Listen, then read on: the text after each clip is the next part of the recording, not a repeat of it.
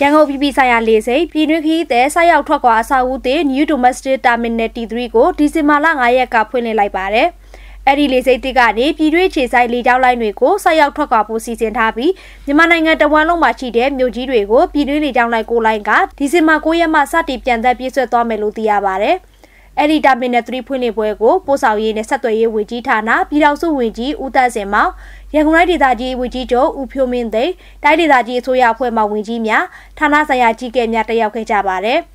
လေးစိတ်စာဦးတီကိုဖွင့်လှစ်ရမှာရန်ကုန်တိုင်းဒေသကြီးအစိုးရအဖွဲ့လျှက်စစ်ဆက်မှုနဲ့လမ်းမဆက်သွယ်ရေးဝန်ကြီးဒေါ်နီလာကျော်လေကြောင်းပို့ဆောင်ရေးညွှန်ကြားမှုဦးစီးဌာနညွှန်ကြားရေးမှူးချုပ်ဦးမင်းလွင်နဲ့ရန်ကုန် Aerodrome Company Limited ဥက္ကဋ္ဌဦးထွန်းနိုင်တို့ကဖဲကြိုဖျက်ဖွင့်လှစ်ပေးခဲ့ကြတာဖြစ်ပါတယ်။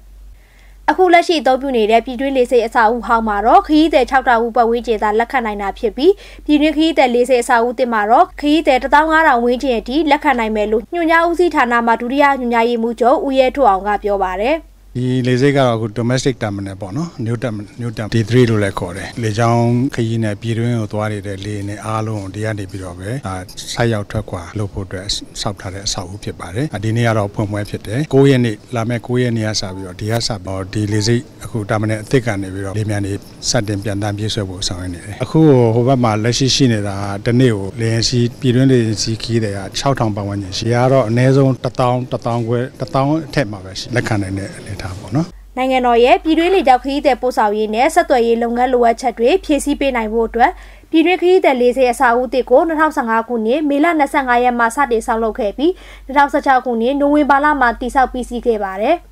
မြန်မာနိုင်ငံသားတွေအဆင့်မြင့်စွာအသုံးပြုနိုင်မှုရည်ရွယ်ပြီးအဆောက်အအုံဒီဇိုင်းကိုနိုင်ငံတကာအဆင့်မီရေးဆွဲပြီးမြန်မာအင်ဂျင်နီယာတွေနဲ့သာဆောက်လုပ်ခဲ့တာဖြစ်တယ်လို့စီမံကိန်းမန်နေဂျာဦးစောဝိတ်ကပြောပါတယ်။ မြန်မာနိုင်ငံသားတွေအဆင့်မြင့်မြင့်နဲ့ဒီဆောက်အုပ်အသုံးပြုနိုင်အောင်လို့ဆိုတဲ့ရည်ရွယ်ချက်ကနဲ့ဒီဇိုင်းကို international ဆန်ဆန်နဲ့ပဲ domestic ကိုစောက်ပေးတာဖြစ်ပါတယ်အားလုံးပါပဲကျွန်တော်ဒီမှာဟို food court တို့ဒီခီးတဲ့တွေလာစောက်ရင်းနဲ့လေရင်စောက်ရင်းနဲ့စားဖို့တောက်ဖို့တို့เนาะဒီ toilet တို့ဘာလို့အစားတကယ်အဆင့်မြင့်မြင့်ကိုကျွန်တော်လုပ်ပေးထားတာရှိပါတယ်ပေါ်အောက်ဆင်းဖို့တို့ဘာလို့ဆိုတာလဲကျွန်တော် escalator တို့ lift တို့အကုန်လုံးပြည့်ပြည့်စုံစုံကျွန်တော်ထည့်ပေးထားရှိပါတယ် ဒီအစာအုပ်မှာလည်းကျွန်တော်တို့ consultant အနေနဲ့စင်ပူနိုင်ငံ Savannah Company ရဲ့ consultant ကိုယူပါတယ်။ကျန်တဲ့ဒီစီမံကိန်းတာဝန်ထမ်းဆောင်တဲ့ဝန်ထမ်းအားလုံးတော့ကျွန်တော်မြန်မာနိုင်ငံ engineer တွေမြန်မာနိုင်ငံလုပ်သားတွေနဲ့ပဲကျွန်တော်တာဝန်ဆောက်လုပ်ပါတယ်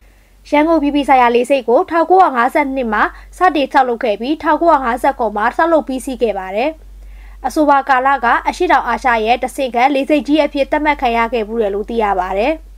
ရန်ကုန်ပြည်ပြည်ဆိုင်ရာလေးစိတ်မှာပြည်တွင်းခရီးသွားလေးစိတ်အပါအဝင်တာမီနယ်အပိုင်း၃မိုက်ခွဲကြကနေ့စီပြည်တွင်းပြည်ပခရီးတဲ့12000ခန့်ဝေထွက်လျက်ရှိတယ်လို့သိရပါဗျ။ဒီသတင်းကိုစက်ရနျူဘျူရိုကအာဂါဒိုရိုနဲ့အောက်ဖြိုးနိုင်တို့ကပေးပို့တာဖြစ်ပြီးကျမအဖြိုးဝေကတင်ဆက်ထားတာပါ